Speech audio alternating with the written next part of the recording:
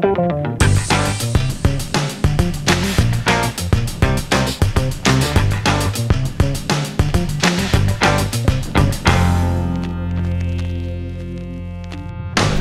ich bin Kurt Herzog, komme aus dem Wendland und wehre mich, solange ich politisch denken kann, mich bzw. aktiv betätige, natürlich gegen die Atomenergie. Man fängt dann an, sich sehr genau mit Dingen zu beschäftigen, und ich habe hier sozusagen äh, zeitnah im Landtag das Betätigungsfeld gefunden in Form der Asse-Havarie und jetzt auch der erneuten Atomdiskussion, die genau dazu passt. Wir wollen einen unverzüglichen Ausstieg aus der Atomenergie. Vor allen Dingen auch, weil es einen Systemkonflikt gibt zu den Atomfossilen, also zwischen den Atomfossilen und den Erneuerbaren.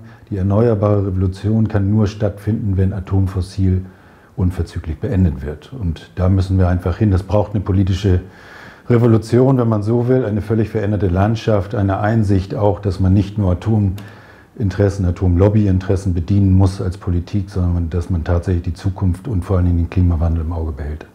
Man hat mich irgendwann mal gefragt, ob ich kandidieren wolle. Ich mache ja sonst im Wesentlichen Kommunalpolitik, auch sehr engagiert mit Leib und Seele. Und ich habe gedacht, die nächsten fünf Jahre, also diese Wahlperiode, sind die entscheidenden für die Atomenergiefrage. Nicht nur für die Endlohnung, sondern für alles.